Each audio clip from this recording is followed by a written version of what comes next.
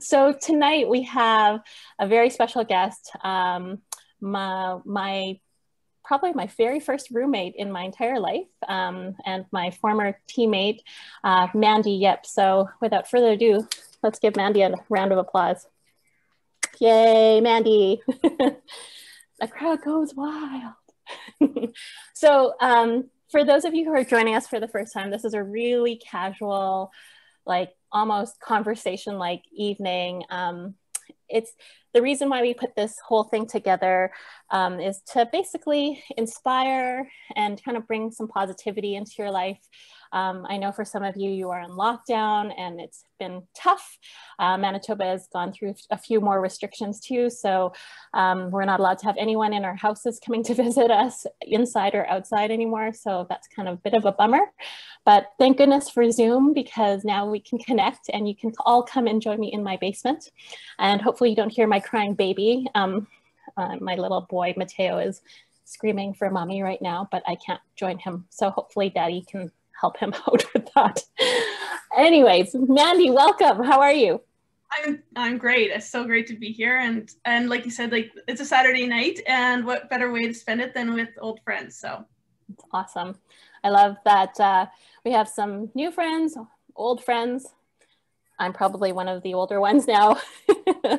um, and yeah, we're just super pumped that you agreed to do this um, on short notice. And uh, yeah, and we're pretty, pretty excited. So I'm going to start uh, with uh, Mandy's uh, bio. Um, so Mandy grew up at the Martin School of Dancing, uh, which is a multidisciplinary studio in Saskatchewan, Canada. Uh, she was a member of the Sundown Optimist Buffalo Gals and the Martinets dance troupe during her time at the studio. In 1994 and 95, Mandy was part of the Canadian world team traveling to Ontario, where, where they won the silver world medal, and Switzerland, where they won the bronze. Uh, she loved everything about the studio and apprenticed under her mentor, Maureen Johnson, as an assistant teacher during her years in high school. Um, in 1996, Mandy taught with Leisha, Kristen, and Jane at the Aerial Fusion Baton Company, um, helping start um, large baton clubs and Lorette and Steinbach. So she grew the uh, uh, recreational um, program, like it grew huge when she was in Winnipeg. Um, I'm not sure how long you were in Winnipeg for, I think two, three years, perhaps? Four. Four, four years in Winnipeg. And we lived together in a a few apartments um, and had some fun times and some crazy memories um, and lived off bagels and uh, McDonald's cheeseburgers and oatmeal for quite a while when we were starving students. Um, in 1999, Mandy opened up Star Baton and Dance Company offering baton twirling and dance lessons to children in Airdrie, Alberta. Twirling students from SBDC represented Canada at their first ever International Cup under the direction of Mandy Yip and Lorraine Dermody. In 2006, she was award awarded ownership of the club to the parents, and it was renamed Sky High Twirlers. In 2009, Mandy sold SBDC. Both Sky High Twirlers and SB, SBDC remain successful programs in Airdrie. In 2012, Mandy launched Acrobatic Arts. As the founder and CEO of Acrobatic Arts, Inc., Mandy manages the staff and delivery of all training programs and the acrobatic syllabus in over 6,500 dance studios uh, in over 30 countries. Yes, Mandy. Yes, girl. over 500,000 500,000, yes, dancers participate in acrobatic arts classes week on a weekly basis. Mandy created the acrobatic arts training and certification program and the acrobatic arts curriculum, producing the most comprehensive research program available for acro dance. A lifelong learner, Mandy has achieved certification in countless courses, including contortion, hand balancing, inclusive learning, tap, jazz, gymnastics, and safe coaching, to name a few. Mandy currently sits on the advisory board for YPAD. I'm not sure what that means. Mandy, can you, do you know what that means? Yeah, yeah, Youth Protection Advocates for Dance. Awesome. And assists the mission of keeping kids safe in dance throughout this organization. Highly sought for workshops, Mandy has taught thousands of dance teachers and provided expert classes around the world. Mandy is known for bringing passion, technique, and in-depth practical knowledge to engaging classes. So welcome, Mandy. Yay! wow, that is such an accomplishment, Mandy. I'm so proud of you. Like that, wow, that's really amazing. And to, and I'm going to start this off by just mentioning that um, with Mandy, uh, she has this huge acrobatic arts um, company, and the whole foundation of it is taught by baton twirlers, former baton twirlers. So can you name a few people who are on your staff before we get started with questions? I don't want to forget anyone, but uh, Sandra Hill, now Elliott, Loren Dermody, uh, Leah Holiday, uh, Jill Ford, Mark Nash, Janae Dorn, Col Colbert, now is her last name. Um, oh man, I'm gonna feel so bad if Leisha. uh, I'll forget if I forget somebody, I'll feel bad. So, but there's just a few. That's amazing. And that's so cool that like, um, and who helped you kind of develop this program? Beginning, uh, it was Sandra, Loren, Jill, and me that sort of sat down together to put it together. So that was all baton people. And honestly, the way that it was put together really has a lot to do with baton. Baton teaches everything or it builds one thing upon another. And I took that same philosophy and used that to create the acrobatic arts syllabus because nothing had been done like that in dance before. You know, teachers would just see a back walkover and think, I think we'll teach a back walkover today without really understanding how foundations make that skill happen. And it was because I had such great foundations in baton and because everything was taught to me in that way so well um, that I was able to, to use that same, you know, formula for acro. Well, lucky for you, hopefully we get to learn a few things from you now, um, now that you've learned all these things from Baton. Um, okay, so let's get started with our questions. Um, where are you from and what were you like as a kid? So I'm I'm from Balgonie, Saskatchewan, a little town outside of Regina. Uh, what was I like as a kid? You know, my mom put me into dance class when I was four. I think she really liked the idea of me being, and my mom's on on today, so hi mom. Um, hi, Mrs. Blow. Yeah, of me being in a little pink costume and going on the stage and tap dancing, and and I didn't like it. I quit after I think a year and a half, if I can remember correctly. I just didn't like anything about it, and and so then she put me in everything else. I think she knew that being in some kind of extracurricular activity was good for me. So I was in piano and I was in Girl Scouts and brownies and a bunch of other stuff. And I, you know, none of it, I didn't really like any of it. So that was me as a as a young kid. And then I'll just keep telling the story because I know your next question. yeah, that's okay. It's all good. so, um, so then we, we rented this movie from the local video store called Twirl. If you haven't seen it, don't see it. It's awful. but in the movie, there is a baton twirler. And I saw it and I was like, Mom, that's what I want to do. And it was the same year, I think, that Stacy had returned from the World Championships with her first medal from Germany that year. So off we went back to Martin School of Dancing, and um, and then and I I went into baton at that time. That's awesome. I remember that movie. It was not good. No, it's not. It wasn't Joni from Happy Days in that movie. Blair, I think. Oh, Blair. Okay, yes, someone from from yeah. one of those shows. All right. So next question: uh, What are your top three best baton memories?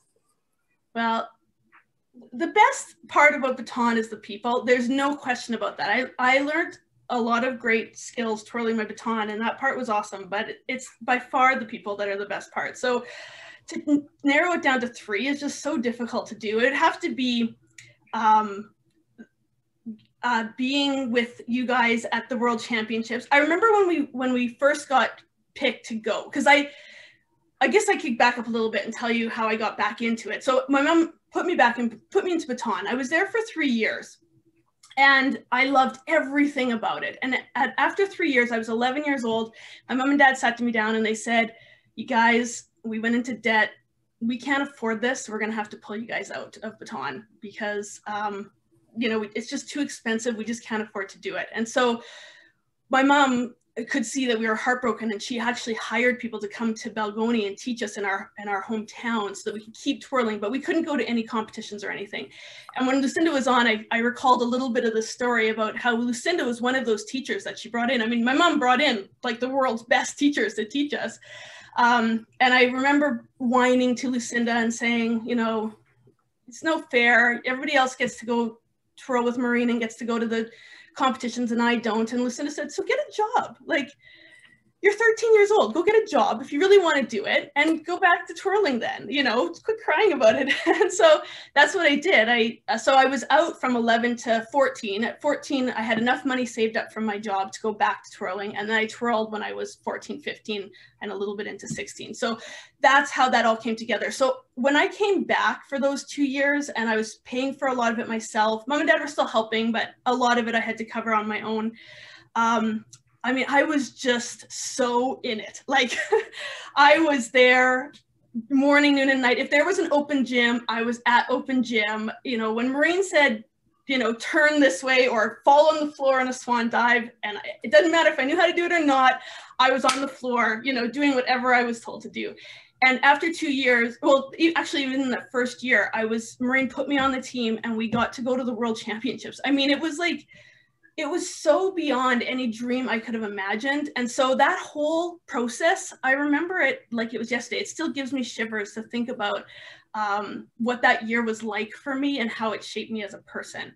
So for my favorite memories, winning that um, gold medal in Canada and getting the right to go to Ontario to compete in the World Championships. Um, I remember that moment like it was yesterday. It was so exciting. I remember being in the practice gym just before we went on to compete that routine and just being like, I can't believe I'm here. Like nothing was lost on me. I, I didn't take any of it for granted. It was all so exciting. Um, so I remember that moment too and I remember all the fun times that we had together. I guess I'd have to tell the story about how we went down a hill, a, a mountain actually in Switzerland, and uh, hit the guardrail, and then ended up in some Swiss village. Kristen, I don't know yeah. if you remember this. Yeah, Innertkirchen. Oh, geez, you know the name of the place. I don't remember that. I remember the cheese. The cheese was good. So I remember those. I think those would be my favorite three memories. That's awesome. Well, watching your face light up, like I I feel it because you just like it it seems like it really is your like was your passion, you know. It was just so yeah. Amazing. I'm I'm really happy that I was able to experience it with you. Um, and yeah, I, I have goosebumps just thinking about like just seeing that gym in Toronto, or was it Pickering, where we Newmarket. Newmarket, yes, with the patchy floor. Yeah, yeah, I totally remember that. Um, okay, so next question. Uh, tell us about your journey after you finished competing in baton and how it led to acrobatic arts. Okay, so I finished my second year that I could afford to pay for, and then my bank account was drained. and I, I did not want to stop. I really didn't. But I had saved up for a year prior, and then I was twirling. So I was going to school during the day, then I was going to twirling, then I was working the night shift at the local diner to try and get enough money to pay for the next lesson. It was like that with me.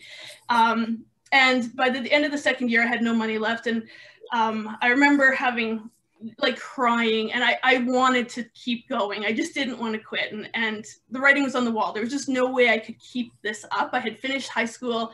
It was time to have a life and, you know, so that was sort of devastating to me, but I knew I was going to stay in it. I had written in my um, journal, my little, Maureen had us put down our goals when I was nine years old and I started baton twirling and, and I wrote down my goals, which were to catch a one turn, to go to the world championships, and to coach someone who went to the world championships. Those were my goals. I had my short term goal, my medium range goal, and my long Maureen wanted me to have. And I had that book with me like all the way through. So even as as a 17 year old, you know, now I had hit two of them. I caught my one turn and I'd gone to the world championships. So then it was time to like hit the third thing. And I asked Maureen if I could come and teach Buffalo Gals, and she's like, no. oh,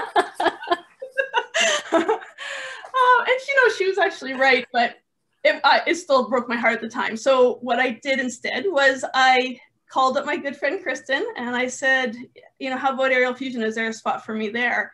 And Leisha too, of course. And you guys welcomed me with open arms. And so I headed to Winnipeg. And uh, we had a really good time in Winnipeg, start, you know, working on aerial fusion. And I did start satellite groups in Lorette and Steinbach where we grew that those two sections, which I was sort of in charge of, grew to being about 70 kids uh, in the time that I had them. Uh, I loved everything about that. I was driving, and I think it's an hour to get to Steinbach, isn't it? So I'm yeah, it's, it's a long drive. Like in winter in Winnipeg, but didn't care. I was like, I'm going to teach baton. And it, the whole time I'm thinking like, I've got to get to the place. I've got to get these beginner two-hand twirlers to the world championships because that's my goal, you know, and that, that may have been a little far reaching um, given the commitment of the kids that I was working with at the time. But um, but that's that's sort of where I went to in Winnipeg. And then I met the love of my life, Jason, through a company called College Pro Painters.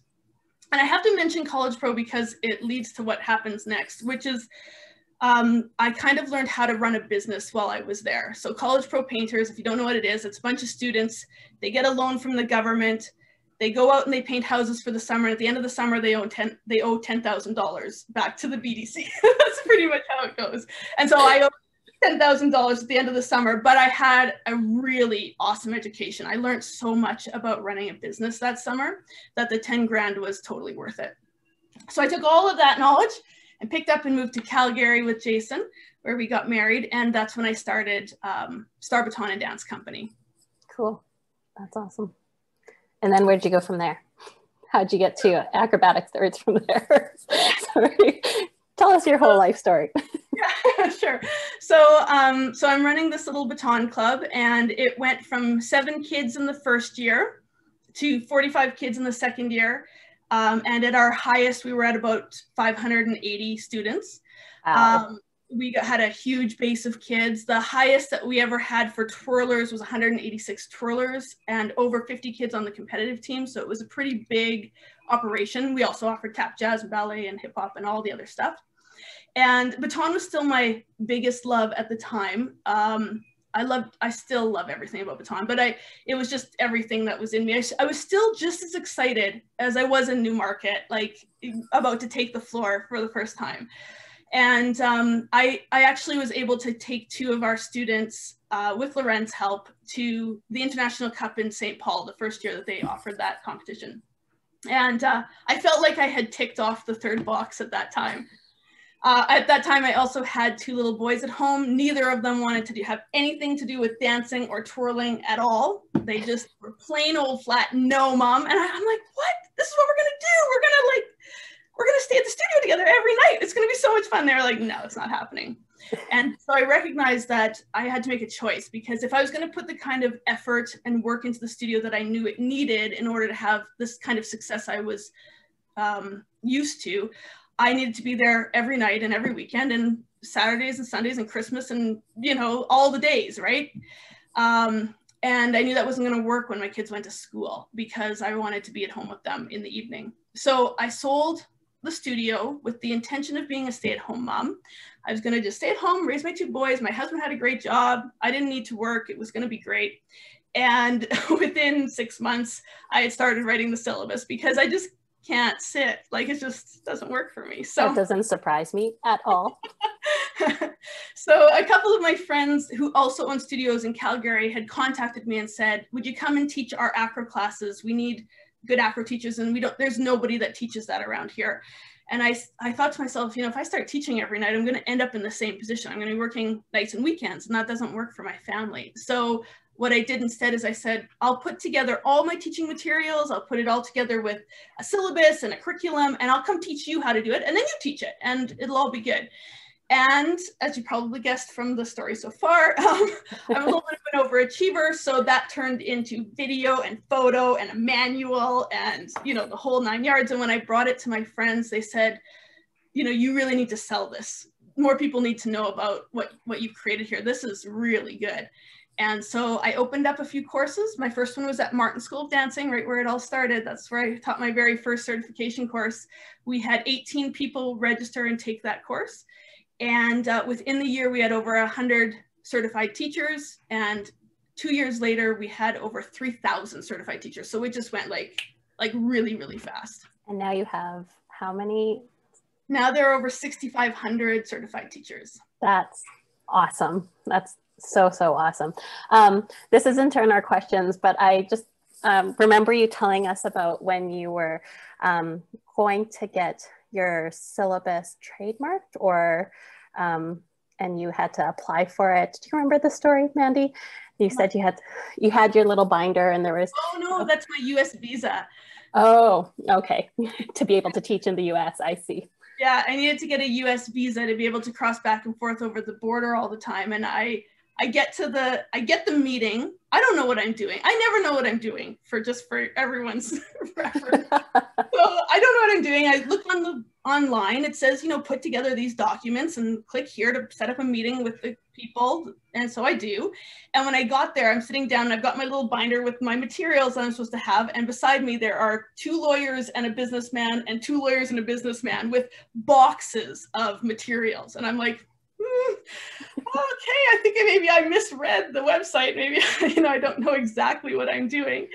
Um, but I got my interview. I went in and talked to them and they gave me my visa. And and the other two businessmen did not get theirs that day. Really? So, yeah. Mm, that's awesome. So kind of just put in the chat. Sometimes you have to just jump in and swim it because that's my motto. And I say it all the time to my team. And it's so true. I, I do that all the time. I'll say, you know, by Tuesday, we're going to blah, blah, blah. And I'll have no idea how to do that. But I say we're going to do that on Tuesday. And then somehow we figure out how to get there. Sometimes I'll even say it's done. Yeah, I already did that. And then I really have to figure out how to do it. well, you definitely know how to rein in the people. Like, oh my gosh, that's so, so inspiring to me. I forgot Loran Meek, so I wanted to say Loran because she's also on my our baton. Okay, awesome. Yeah. Shout out to Loran. All right. So we have a number of young people and older people um, who are considering starting up a baton club. Uh, what advice would you give them? Okay, so um, I mean, th- that's a huge question. It is. There's a lot of things that are important in that question. And I love this question, but it takes me four hours to talk about it. I'll do the very, very short version. There's two parts that you have to love. You have to be passionate about the baton twirling and you have to really care about it and you have to understand the baton twirling and you have to know how it works and why progressions work and all that stuff. And you also have to love the business. You have to understand how taxes work and how important it is to pay your rent on time and how you have to deal with marketing and how Facebook ads work. And if you don't you know manage both of those pieces equally then you probably will not be successful and i think a lot of people in the arts really love this part and they don't really pay enough attention to the art of the business that is so super important.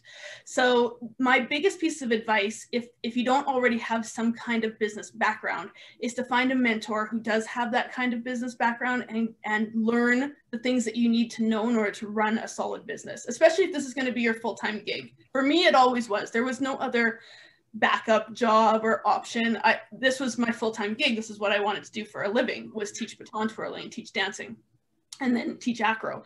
Um, so in order to make that happen, all of the other business sides of it have to work. Um, I think the best, uh, really simple things that I did to make my numbers grow so quickly were to partner with the schools in the areas that I was in and teach their phys ed classes. So I know right now we're, we're on lockdown, but by September, I think we're gonna be swimming. I got my shot. I know you did too, Kristen. You betcha. I know Susan, no shot for Ontario people. I'm sorry. I'm sorry. Oh, you do have yours? Yay! Ron has his. Stephen has his. Oh, good. That's awesome. So I'm I'm praying for a September, um, you know, back to normal normal as it can be. So what I did was I went and I talked to every principal in every school. I did this in Lorette and Steinbach too. And I said, you know, can I come in and teach your phys ed classes for a whole week for free? And they were like, what's wrong with you? um, eh, but and then I also said I only have these four days available, and I, my my schedule's filling up very very quickly. But if you get in right now, I can mark you down and I can be here. But if you don't, you know, you probably won't get in. I had oodles of time. I didn't have anything else going on, but by kind of setting that like um, you know might be difficult to get me, it kind of pushed them forward.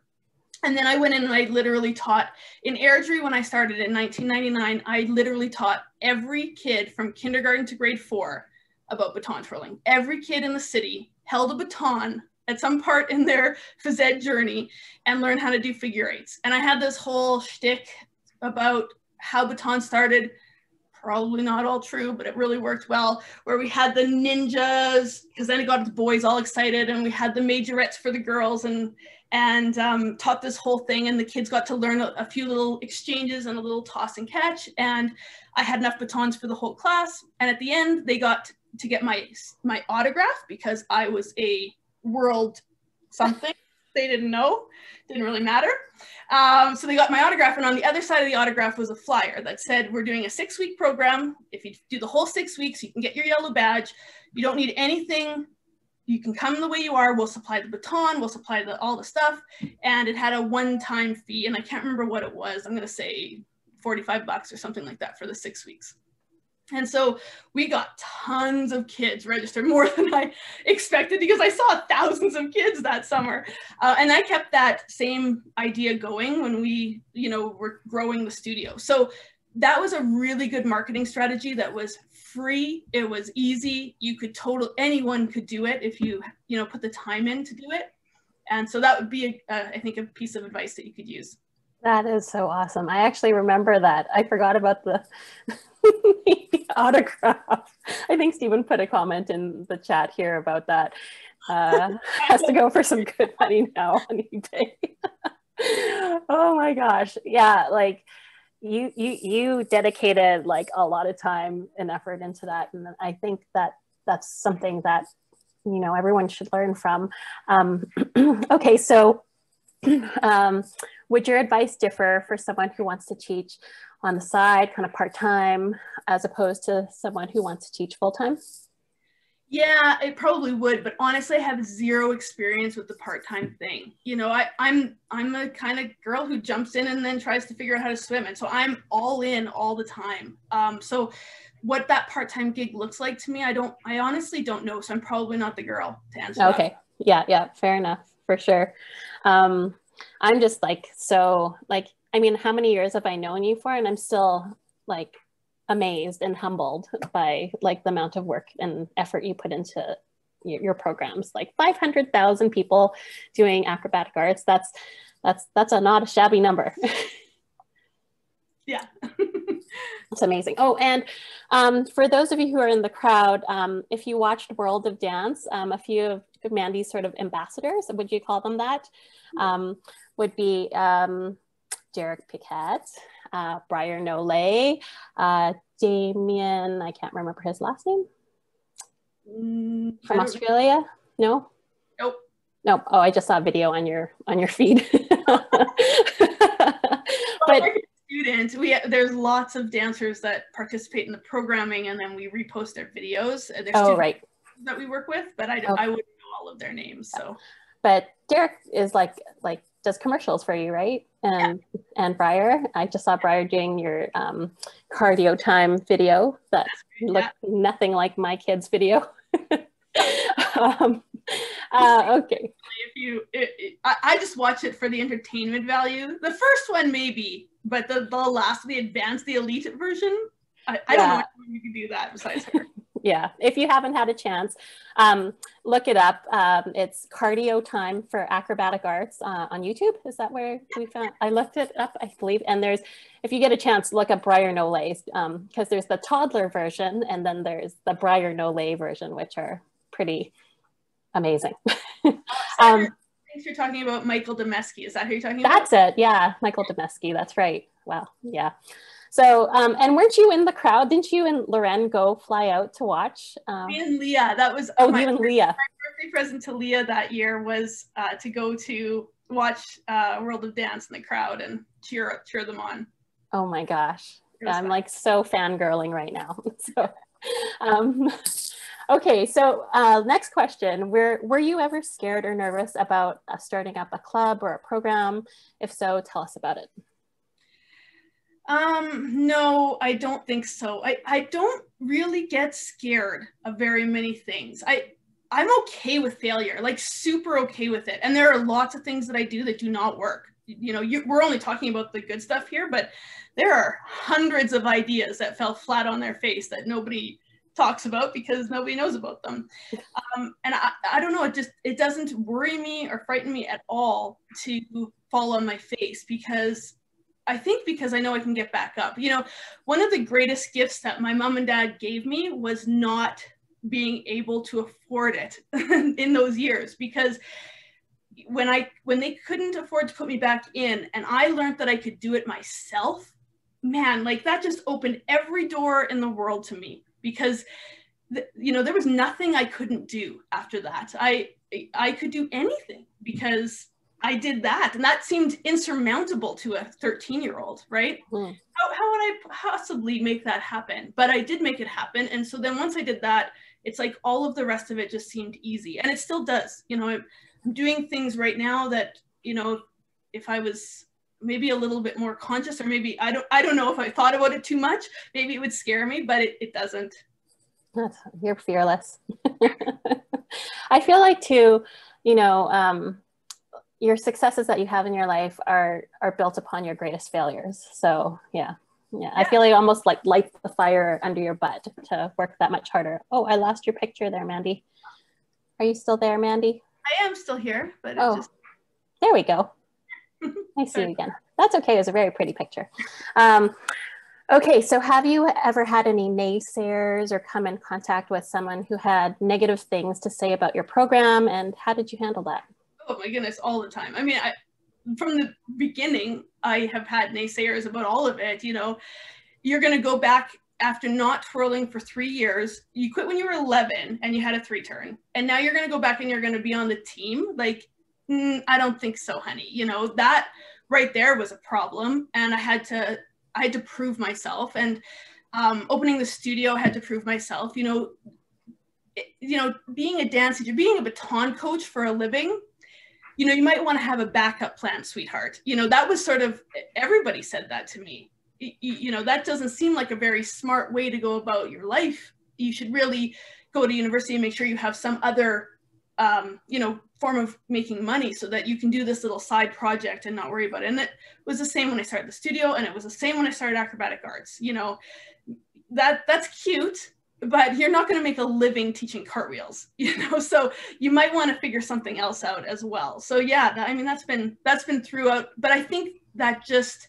like makes me want to do it. It makes me want to prove everybody wrong you know that you can so make a living out of cartwheels and a damn good one you know. Watch me. So yeah definitely. Yeah plus like look at all your staff they're all baton twirlers too so you yes, you can make a living. um, yeah, and Stephen just wrote, and look at you now. So yeah, um, well, you're not at all competitive. I mean, I'm, I'm joking. That yeah, is definitely yeah. The funny thing is, like, I never knew you before you joined the team, so I never knew. I just thought you were just a hard worker, like everyone else, like you know. And I remember you doing swan dive after swan dive. If you don't know what that is, it's basically diving into the floor with your side and your hip crashing into the floor and putting your leg up nice and straight um, with your foot in retire and Mandy had like the biggest bruise. Is it on your hip? I think. Yeah. For the thing about that trick is that there is a technique to it. Unfortunately, yes. I missed all those days of classes, so we Maureen put it into the routine, and I was late every time because I'm I'm going from the standing position. I remember there was a little soutenu turn and then swan dive. That was what we did in that part of the routine. Leisha probably knows because she knows the whole routine. and I remember I'm up, and now I'm supposed to be down right now and I don't know how to do that. So I just like went down to the floor and put my leg up, you know, and Mandy, you're late. Everybody go back and do it again. I'm feeling horrible because I'm making you guys all do it 20 times because I'm late every time. And I just didn't know how to do it. So when I came back, my whole, the whole side of me was covered in bruises because I, I was going from straight up to straight down. That's, a, uh, yeah, good memories. Not so much. Um, all right, next question. Uh, with the worldwide success of acrobatic arts, what do you think it is about your program that makes it so popular and so enjoyable? Well, going back to what we talked about at the very beginning, there's a few things that come right out of baton that make it work. It's it's the progressions that I that I learned through baton twirling that I was able to put into acro so that you know the kid goes from you know just sitting to sitting and doing a little bit to sitting and doing a little bit more and everything builds upon itself just like when you're learning to twirl you know you learn to do the two hand twirl then you learn to do the thumb roll and it drops to the floor then you learn how to do the thumb roll and you pop it off then you learn how to do the thumb roll and you catch it then you learn how to you know it, everything builds on itself like Legos. And I think when I put acrobatic arts together with the help of some amazing twirlers who also understood that same philosophy, um, it just worked. And when teachers started using it, it worked for them too. And when something works, then it works. And you tell your friends and, and more and more people got on board with it. So I, I really do have to credit twirling to that. And also my team. I have the most amazing people uh, working with me to make this all happen. And some really brilliant teachers. When, when you get into a class and you're learning from our course conductors, the way that they can deliver that information in two days, the amount of information they can deliver and how well they deliver it is really astounding. And, and that's baton people also for a lot, a, a large part of it. I'd say more than half. Wow. That's so cool. I'm inspired. Um, uh, let's see here. What in your mind is considered really great programming? Uh, okay, I think you need to have really awesome customer service you you need to communicate with your customer and make sure that they understand what the what the expectations that they can have of you are and what you are expecting of them as well and that that is super clear and that it's not ever you know up for debate. So i think that that really sets the stage for a program that's going to be successful. Um, i think you have to have quality information to pass on. So you have to have a program that's actually going to be, you have to have material that's actually going to work. Uh, that is really important. And you have to have goals and um, something that we're working towards. You have to have something that, that's going to happen that we're going to get to, whether that's a, a performance, whether that's catching a certain trick or doing a certain skill, whether that's, you know, going to a competition, it, it almost doesn't matter as long as there's something that we're working towards and that we're all on the same page going towards that goal. That's awesome.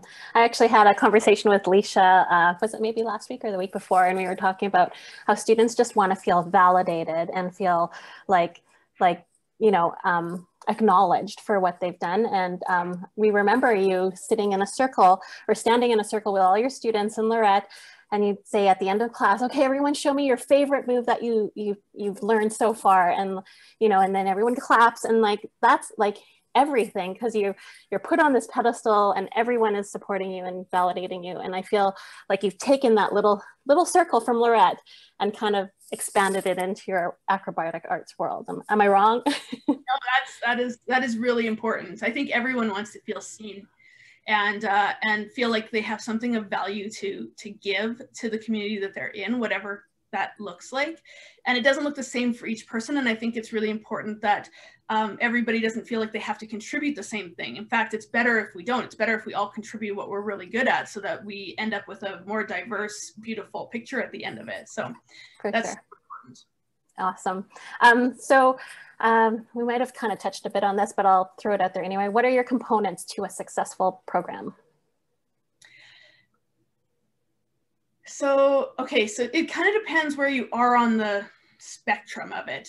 Where I am right now, um, it's really important to have excellent leadership. So it's important that you know where you're headed and that you can convey that clearly to the people who you're working with, whether that's your students or your staff. Um, it's important that you have all your ducks in a row. So the business part that I talked about earlier, you know, understanding the taxes and the you know marketing and all of those things that's really important. It's important to have cl clear communication so that everyone understands what the expectations of each party is. Um, so i think all of those things together build a program that's going to be more successful. And and having something that we're all working towards also does you know yeah for sure. yeah Cool, cool. Uh, what do you tell your new teachers who have completed their acrobatic arts teacher training? Um, and do you, do you would you provide that same um, advice to baton coaches? Yeah, definitely. And that is, it's okay to take it one step at a time. Don't feel like you have to know everything to get started get started and you'll figure things out as you go along. That's that's how it's always worked for me. And i think sometimes we hold back too much. We wait till everything's perfect before we put anything out there because especially people who are in the arts we want everything to be really good because that's kind of how we train, right? We train so that we can do it really, really well, and then we show the finished product off at the end. And my suggestion is to instead jump in and then try to figure it out as you go. Having said that, you can't slack off at that moment. Once you jump in, you better darn well learn how to swim because otherwise you're going to be in big trouble. Um, and the other piece of that is seek out mentors. Mentors have been really important to me throughout my whole life. Uh, find people who are willing to share their knowledge and their experiences with you so that you don't have to go through everything and make the same mistakes again. And you would be amazed at how many people are out there willing to share what they already know. Um, I, I don't think there's been a single person who I've, who I've contacted and said, would you be willing to meet with me and tell me what you've already learned you know in a mentorship kind of meeting way that has said no? Not a single person. And i'm talking i i emailed people from cirque du soleil that i'd never met. You know would you be willing to sit with me? Yeah i'd be willing to sit with you. And i think we're scared to do that. And we shouldn't be because I, like if I asked you right now, Kristen, would you be willing to sit with any of these coaches and tell them what you've already learned? The answer is yes, right? Yeah, hundred percent. The answer is yes for me too, and I do it all the time. And and I think it's too bad that we don't use that more often, that we don't ask for help more often. Well, thank you for helping us tonight. I think anyone who is sitting here tonight is taking away a huge amount of um, knowledge and probably ideas and yeah, just um, and also your infectious passion for uh, baton as well. Um, okay, so uh, how do you maintain a successful club? So successful club like acrobatic arts or like when I owned the dance studio? Um, I lump it all together, sure. um, okay, so well, because it is a little different now with with how many people. Because now I have about fifty people that work under me. So there's sort of levels of how people are working and there's people who are in charge of other people and like that kind of thing. So that's a little different than when i owned the studio. Um, i think you know you have to you have to do what you say you're going to do. So if you promise something you better deliver. Um, don't promise something if you can't deliver. Having said that you know stretch yourself. Sometimes I promise things and then I work to deliver, and that's okay too, as long as you can deliver. Um, but but don't ever tell somebody you're going to do something and then not do it. I think that that's been key to why we've been successful. Um, people trust what I'm going to say when I say that I'm going to say so, when I say that we're going to do something, or when acrobatic art says that you know you will never have to pay for this again, or this is for life, or you know, this program will show you everything you need to do to start your own acro program. I really mean it. We really will give you all the tools that, that you need to make this happen. So I think that that's, that's probably key. And that's probably why we've been successful. And that's probably why SPDC was successful too. The parents knew that if I said we were going to do something, we were going to do it. Awesome. Tell them like it is, Mandy. um, okay, so always like what we were going to do, but we were definitely going to do it. If I said it's going to happen, it's happening. So buckle up. See, you're so cheery even when you're delivering like, you know, demands. she has like this big smile on her face. My, my team would probably say, they're going to say it in the chat probably, but that I'm a great manipulator and that that might, that may be, that may be accurate. All right. So how have you had to adapt during COVID? I mean, our whole program pretty much shut down. So yeah, that has been a huge adaptation. The way that acrobatic arts is normally taught is we go to cities around the world. We have 30, stu 30 teachers come into a dance studio with another 30 students, and we learn how to teach acro together um, with the dancers that are there. So obviously all of that was shut down in a matter of minutes. And so we had um, hundreds of thousands of refunds to process or you better figure something out, Mandy. So we got together on a meeting and came up with the idea of uh, teaching Module 1 online, our, our flagship product, our most important foundations course, um, and how we would be able to manage to do that, how we would figure out Zoom. No, none of us knew how to do Zoom at the time. How, you know, how are we going to um, get dancers to work with us so we can show the work on Zoom. Well, that means Jill needs to put up a studio in her basement. So let's get some drywall going. You know, like all of that stuff had to happen in a matter of weeks in order for us to pivot that quickly so that we didn't go under. Because if I would have had to process uh, $300,000 worth of refunds, we probably wouldn't be alive right now. So that was a huge, um, it was a huge like curveball. And then it was like just like all the other things I'm talking about, it it proved that uh, you know I can make anything happen. Mm-hmm. You know, if you put your mind to it, you can make anything happen. So the same lessons I took from 13 years old, where you didn't, I didn't have enough money to make that dream happen. I took those same things and like, let's figure this out. Let's yep. make it work, and and we did, and we we got through last year completely successfully, and we're ahead right now. Where even if this continues for another year, uh, acrobatic arts will be solvent. So that's pretty huge for a wow. business like ours in the arts. Yeah, when you think about how many companies have really been affected by COVID in a negative way, like the fact that you were able to turn it into positives is unbelievable. Um, yeah, and I think, you know, baton twirlers can kind of take the same notion. I know it's not ideal to twirl in your house or in your basement. Like I can't even, I can stand up and touch my ceiling in my basement here, but let me tell you, if I'm going to be teaching baton, if I'm teaching baton, we're gonna have best rollers in all of the world after after COVID. That's so true. And isn't there always something to work on? You know, there is. There's always, and don't waste this time. This is, yep. you know, if if you don't use this time to move forward, somebody else will. So let's get on it. There's mm-hmm. always something you can work on. Yeah. Oh, body work, like yeah, rolls, like contact. Like just because you can't do your aerials doesn't mean you can't do your body work. So um, all right, so uh, what's the most important thing you have learned in your life and your career so far? Most important thing. Deep question. Yeah. um, I guess the most important thing I've learned is that if you really put your mind to it, you can accomplish anything, just like my mom said. So, and that it really has stuck with me through my life and it's been true for me. So, um, I'd say that that was that was something pretty important that I learned. Cool. Yeah. Mrs. Blow is pretty proud of you. um, and who are you most grateful for?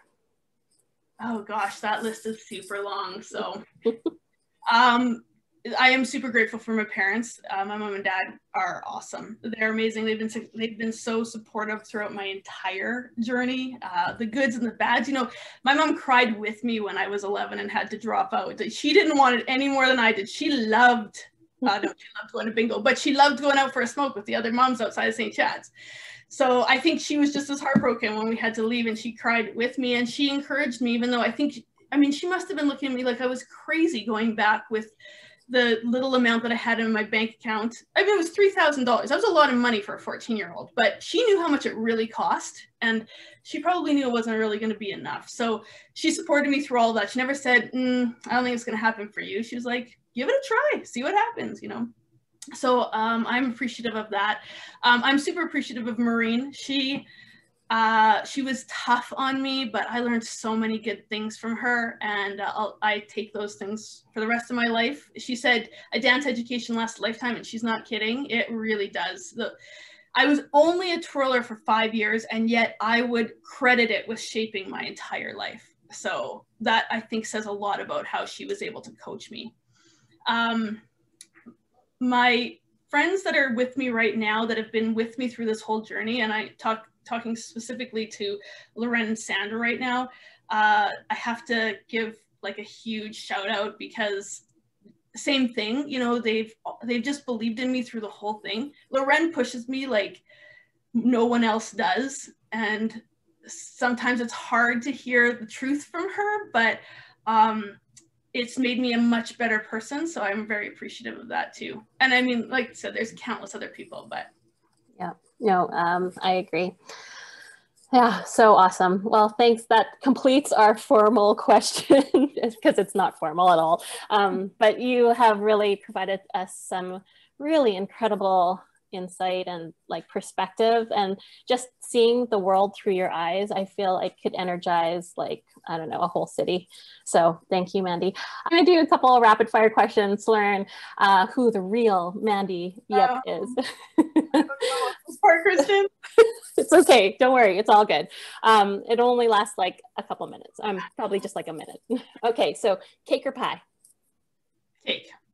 Godfather or star wars? Godfather. Do you like the word dapper? Yes. Uh, big dogs or small dogs? Neither. How many hours of sleep? Hours of sleep do you need? At least eight.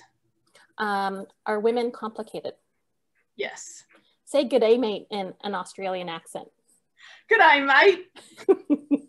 How often is it healthy to cry? At least once a week. What's your favorite carb? Bread, pasta, rice, or potatoes? Rice. Uh, oh, that's right. I remember that. Um, if you could ask God one question, what would it be?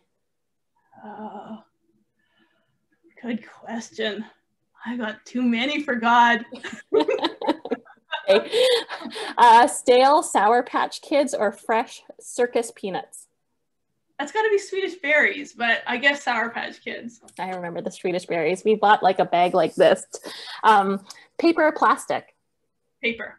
Um, are rats cute? No. What's your favorite car? Mm, the one that's in my driveway that Jason buys for me. uh, do you know how to salsa dance? No. Um, uh, out of a scale of one to 10, how good are you at wiffle ball? Zero. um, do you believe in love at first sight? Yes. And how many cups of coffee do you drink a day? Zero. Uh, what is your ideal outside temperature? 23. Um, favorite type of muffin?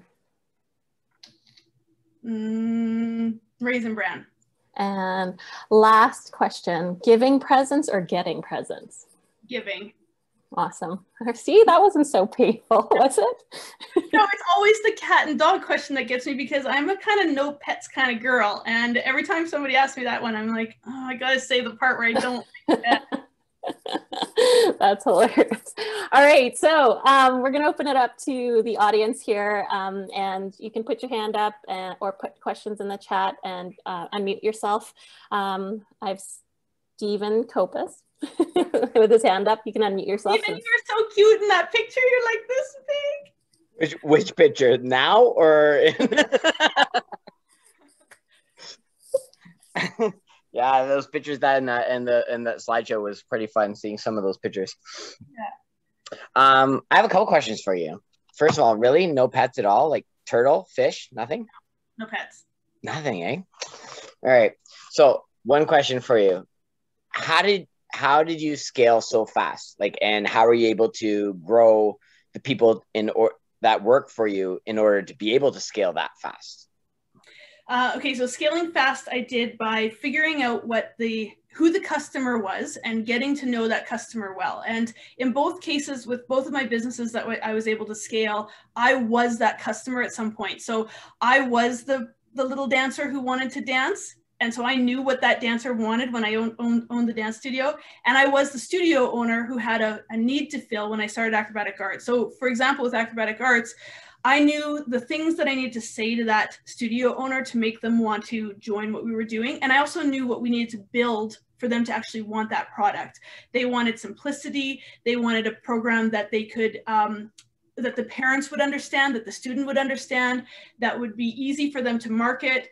They wanted a program that would be uh, universal, that no matter where in the world you went, you'd be able to find that same recognizable brand. And then I took all of that information that I knew about that person, created the program that fit that, and then I was able to really sell that well because I believed it was what they needed and what they wanted. And, and it was because I knew that person, so it worked. Um, and then, and I guess like practically, I did it mostly on Facebook uh, ads when when we started acrobatic arts. So I learned how a Facebook ad works, and I went deep dive into what that meant and and how it worked and what I had to do in order to do, uh, you know, all the different things within a Facebook ad to make it show up on the right person's account at the right time when they're thinking about this problem that they're having, that they don't have a good acro program. Uh, and then I made that happen. I made that ad show up for that person at that time um, by learning how the algorithms work and, and that kind of thing. Crazy. Um, yeah, sink or swim, right? Dive in.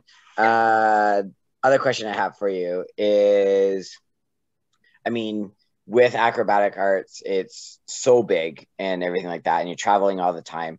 How do you balance your work life?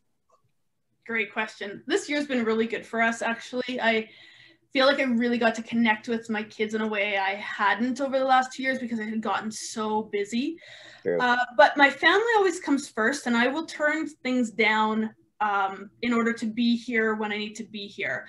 I also really try to work when my kids are at school. So acrobatic arts really didn't take off until my kids started grade one. And then I learned how to make really good use of my time while they were at school and be done when they got home from school. Because that was the whole goal. I wouldn't have even started this if I didn't want my weekends and evenings free. So why would I fill that back up again? Um, and I'm pretty efficient with my time. I'm actually really, if I could say that I'm good at one thing, I think that that would be one of the things I'd mention that I'm very efficient with my time. So no minute is wasted. You know, while we were getting ready for this meeting and there was five minutes before you guys came on, I answered three email and, you know, and five minutes before that, I actually had a meeting with somebody before I met with Kristen, you know, like there is no wasted minute. Um, and that way I'm able to uh, effectively use my work time and then close the office door and effectively be with my family without having to think about work. Awesome. One follow up. Have you mastered that flop yet? I can do it. I okay. can't in here. Uh, I would, but I'm also in my pajamas on the bottom. I remember. I remember all those bruises as well with it. So the fish flop. No, they the swan dive. The, swan oh, dive, right? The yeah. flop. Well, Whatever. You know what I was. She knew what I meant. I know. Thanks, Stephen. Thanks, All right, we, we have a question from Leisha. Hi, everyone. Um, I always I always tell you, Mandy, I am so proud of you, and I'm just going to leave it there. Uh, the other thing I just wanted to say um, uh, before I ask my question is, uh, as a, I guess, as a kudo, and what I what I watch when I've watched you go through this whole process over how many years I've known you, um, is uh, you're masterful at letting people use the gifts they have. and uh, you're very good at like what gift do you have and you're very good at that and i want you when you come on board you're going to be doing that gift that you're passionate about and that you know and you're going to be really like i know you're going to do that because you're passionate about it and when you talk about passion the importance of that to me that's that's so good you've been so great at being able to do that like finding what people's passions are and using those gifts and talents that people have in order to uh, in order to help you grow as well and help your business grow. So I really appreciate that. My question just has to do, I'm going to bring you back to Baton and go back to, um, to your time in Winnipeg here. Um, and, uh, and the growth, I, you know, Chris and I would always talk about, and Jane would always talk about just like, oh my gosh, how's she getting all these kids? Like, it's crazy. How she's just growing these, these programs. And, um, and, and what do, what would you say are some of the best sort of and and because we're going through this COVID time too, and we're always trying to think about incentives and games and things to get to keep kids going. So what are some things that you maybe used back then in terms of incentives sort of to keep kids coming back and to get them excited about about baton and growing baton and uh, and some things maybe you've used during this time too through your business um, to help sort of keep dancers motivated and um, and things that you've done if there's any games or um, other incentives that you've used. So just diving into that. Thank you. Awesome. Um, I think if you get a baton into a kid's hand, uh, at least one out of 10 of them is going to be intrigued and be interested in trying that.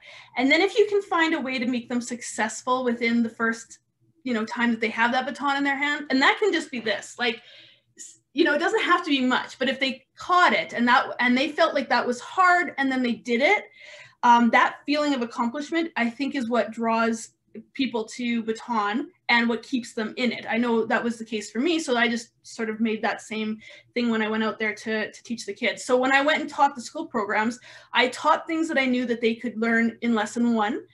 And when I started teaching for aerial fusion, I made sure that what they were learning in, in lesson one was going to set them up for success in lesson two. And that in lesson two, they were going to have at least one thing that day that they were successful at. And same with lesson three, and same with lesson four. And I do the same thing with acro. Um, I, I make sure that every kid in the class that I'm teaching, um, every single kid, and I really do make sure that I see everyone um, feel successful about something that they did in that class, that they accomplished something. It was worth it for them to come to class today. It, it mattered. It made a difference. They got better. Um, and I think that's why I was able to get the kids to come in and then, and that's why I was able to grow it too. They didn't just come in and drop. They came in and they stayed um, for the most part. So, so that would be my piece of advice for that. I don't, I, games are fun and definitely make it fun. But I think even more than making it fun, Maureen used to always say, being good is fun. she used to tell us that. So, you know, she, she get mad about the parents. The parents just want fun. The parents all all they want is fun. You know what's fun? Being good. That's fun. You know, now go out there and do 25 more. And um and she was right. Being good was fun. Do you remember her saying that, Kristen? uh, I, I, still remember. I she still says that. awesome. She's like that that idea of competence and feeling competent is is so important you know if, if they they need to feel like they've accomplished something and they need to feel competent in order to want to continue in something. You know at whatever level of competence that is they have to make sure they, they're feeling competent. So it, that is something i've definitely taken from maureen and, and some of the webinars i've heard her speak at. You know she yeah. does talk about that the importance of yeah being good is it's fun. It's you, but you need to build that competence. And it's not about being good in terms of winning everything all the time. It's about being good in terms of mastering skill and yeah. and the importance of being able to master that and feeling like you can continue from there. So yeah. Yeah and and a really smart teacher is able to figure out what everyone's going to be competent at and to make them feel special about being competent at. So a lot of the times i will use the game in class for that one kid that's definitely not going to catch their two-turn today or whatever the thing is that everybody else is doing. And the game will almost be geared to that kid because i know that they're good at this one particular thing and they're going to shine in that one particular moment and that's going to bring them back again next week even though they were unsuccessful for the other 58 minutes of class. no, that's brilliant. Thank you. Love you. Thank you. You know, it's, I just want to say, to hear you and Kristen say that, you know, you guys were just like my idols. So when you guys say that, you know, you're proud of me, it just makes me want to cry. Well, we are proud of you, Mandy. Yeah. Like I feel like you are now our mentor. So yeah, it's interesting how things flip. Um, any other questions from the gallery?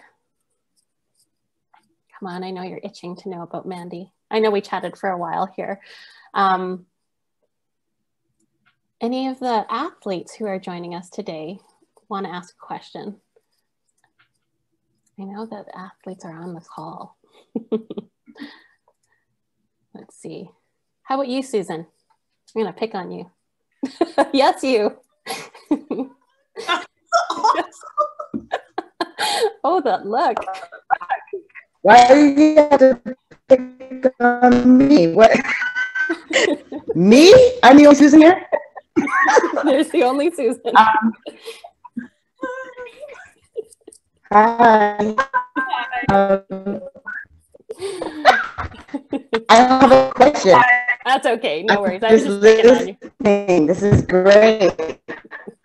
That's funny. Sorry. That's okay. Oh, Laura. Laura, we have a question from Laura. She's one of our athletes, Mandy. From Hi everyone. Here I put my camera on. Sorry, I'm in my bedroom. but um, hi.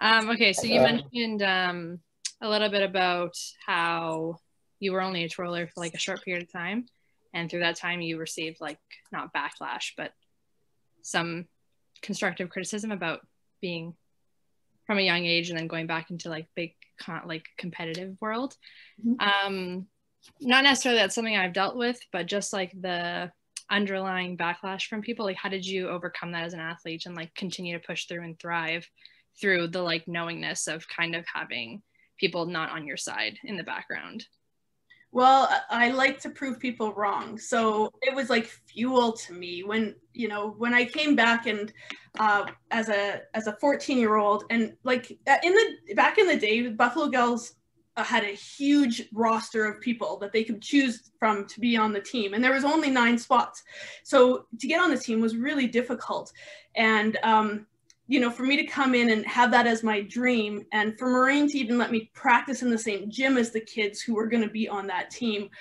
I, I mean people didn't really like that i think uh, until they saw how hard i was going to work. And it didn't take that long for me to win them over because i was really willing to put in the work. I really was. I like I said, if there was um, an open gym, I was there all the time. And if there wasn't an open gym, I was practicing in my basement. I was practicing all the time. So when Maureen gave us a little combination and said, this is going to go into the routine, you know, when you come back tomorrow, I would come back tomorrow with it mastered. Like, like never going to drop it again mastered kind of situation and i think once i had proven myself a little bit that that flipped into a place where i was actually kind of respected for um, you know how hard i was willing to work for what I wanted.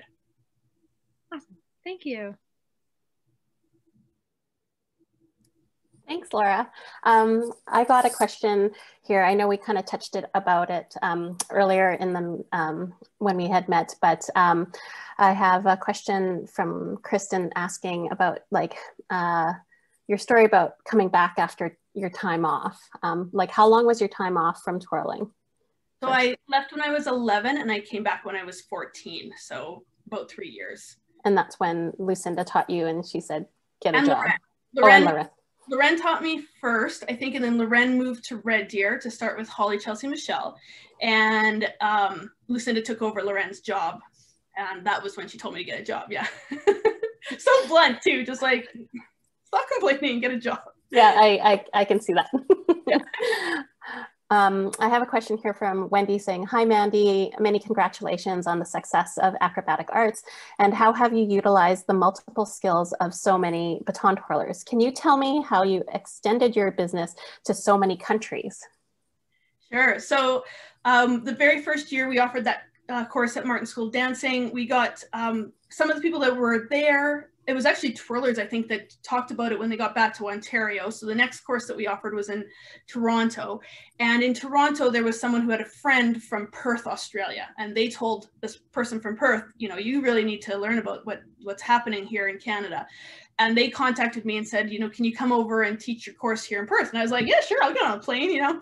No idea that i needed a visa like you know just like everything else in my life. Like i'll just get on the plane and we'll figure it out when we get there i guess um, and that's pretty much what we did. We went and taught the course and and then learned that you need a visa and there's some like some rules surrounding these things, uh, which led to me having to get a visa to, to teach in the States as well.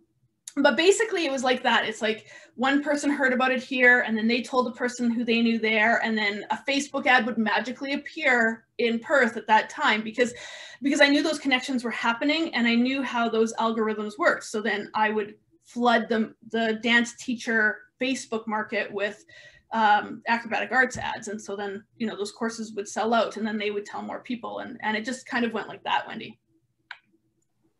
You are so smart. That's so, so smart. Um, okay, well, uh, I know we're a little bit over time, but I just wanted to say thank you so, so much, Mandy, for taking time out of your crazy busy schedule.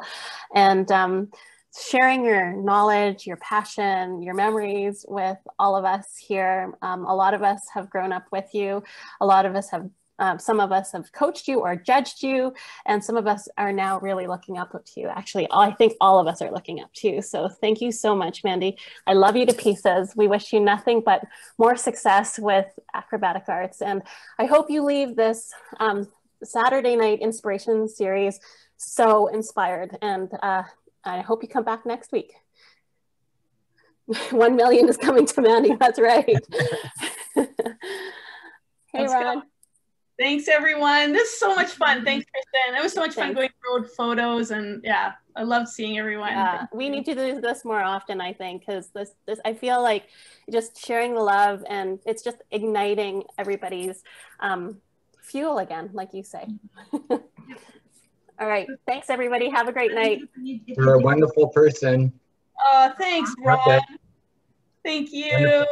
Well, everything that Kristen, or what she's been doing, all these other people um, that are coaches and has been twirlers and stuff, you can see that they're blood is going right through to their heart about but, uh, baton and um, what you're doing that with working with the younger kids coming in in the same direction. Thank you so much for the world that we have all that kind of strong things in Canada.